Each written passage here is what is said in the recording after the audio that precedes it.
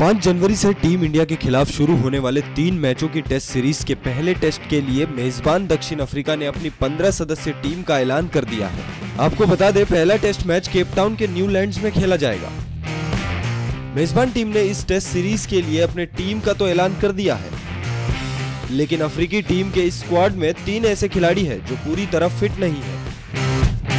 जहाँ कप्तान ड्यूप्लेसिस और डेल स्टेन वायरल फीवर की चपेट में है तो वहीं wicket keeper Quinton de Kock Zimbabwe के खिलाफ खेले गए टेस्ट में घायल हो गए थे।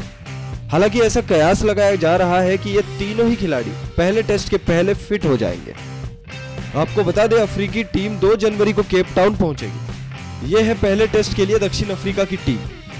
Faf du Plessis Hashim Amla Temba Bavuma Quinton de Kock de Bruyn AB de Villiers Dean Elgar Keshav Maharaj Aiden Markram Morne Morkel Chris Morris Andile Phehlukwayo Vernon Philander Kagiso Rabada और Dale Steyn दक्षिण Africa दौरे पर team India को तीन test, छह one day और तीन T twenty match खेलने टेस्ट सीरीज़ का पहला मैच केप टाउन में खेला जाएगा।